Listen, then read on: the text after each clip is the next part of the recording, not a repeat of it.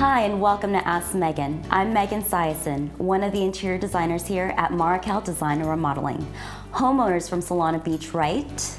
I love the look of those white marble counters, but I've heard horror stories of its durability and maintenance. Megan, what can I do? Well, I have the answer for you.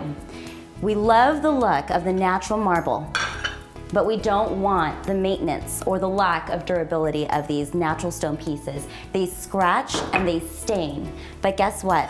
A new product out on the market right now, marble looking porcelain. It's a porcelain so it's stain resistant and very easy to maintain. You're watching Ask Megan. To send me your design question, visit marrokal.com forward slash Ask Megan. Don't forget to like us on Facebook and subscribe to us on YouTube. We'll see you next time.